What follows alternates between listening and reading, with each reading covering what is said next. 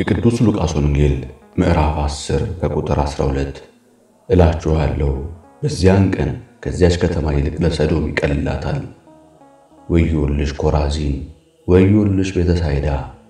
በእናንተ የተደረገው ተአምራት በጢሮስና በሲዶና ተደርጎ ቢሆን ማቅ ለብሰው በአመድም ተቀምጠው ከብዙ ጊዜ በፊት ንስሐ በገቡ ነበር። ነገር ግን በፍርድ ከእናንተ ይልቅ ለጢሮስና ለሲዶና ይቀልላቸዋል። አንቺም ቅፍርናሆም እስከ ሰማይ ከፍ ከፍ አልሽን? ወደ ሲኦል ትወርጃለሽ። የሚሰማችሁ እኔን ይሰማል፣ እናንተንም የጣለ እኔን ይጥላል፣ እኔንም የጣለ የላከኝን ይጥላል።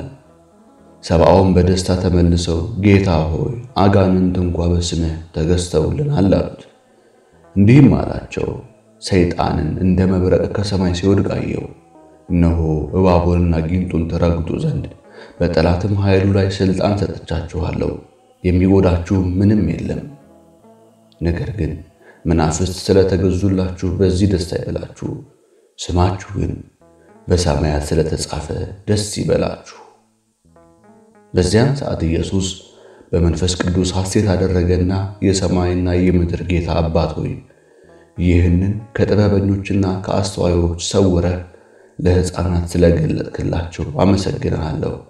አሁን አባት ሆይ ፍቃድህ በፊትህ እንዲህ ሆኗልና